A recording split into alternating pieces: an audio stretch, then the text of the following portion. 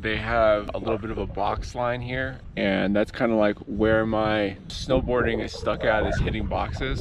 I'm gonna try to hit them, but if I crash on one, I'm not gonna hit the rest of the line. We'll see, watch me crash.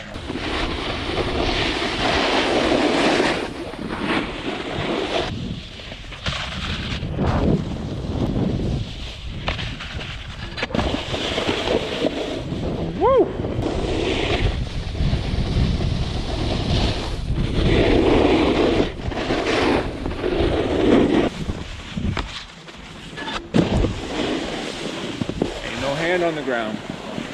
I got low, but no hand on the ground.